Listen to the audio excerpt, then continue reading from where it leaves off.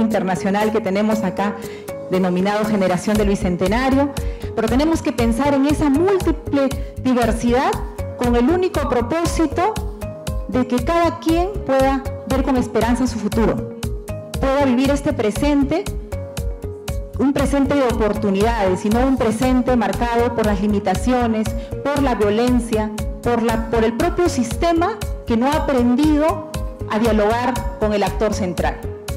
Estamos en un momento donde tenemos que preguntarnos qué tipo de secundaria, qué tipo de modelos de servicio, qué cosa, cómo debe transformarse la docencia para poder ser ese, ese espacio de aprendizaje acogedor, que de disfrute.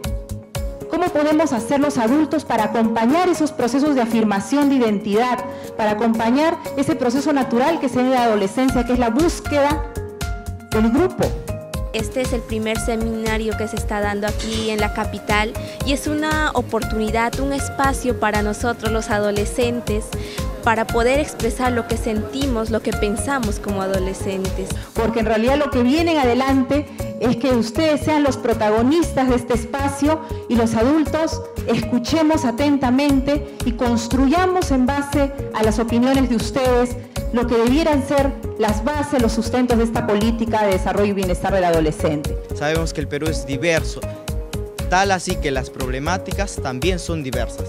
Entonces el Ministerio creo y estoy totalmente seguro que va a tomar acciones para que la educación sea más integral y así poder hacer nuevas generaciones para ser mejores peruanos. Ñujapaja kaija allinmi. Ñujaja kani huancabelikamanta hinaspam punampuncha kusikus hatarikuni.